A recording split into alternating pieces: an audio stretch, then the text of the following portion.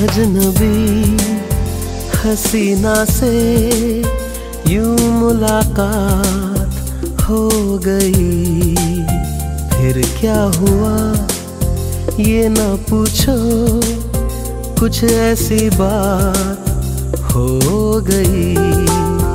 एक अजनबी हसीना से